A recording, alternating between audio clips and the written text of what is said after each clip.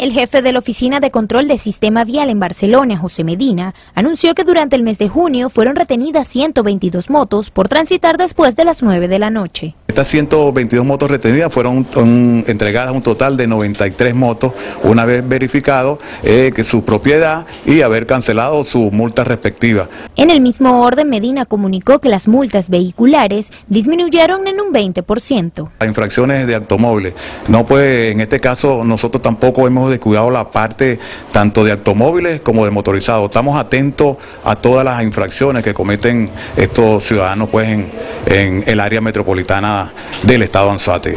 El supervisor agregado acotó que la Policía Nacional Bolivariana y el Instituto Nacional de Tránsito Terrestre continúan realizando labores de patrullaje constantes en el municipio Simón Bolívar. Desde Barcelona, María Andrea Rondón, Anzuate.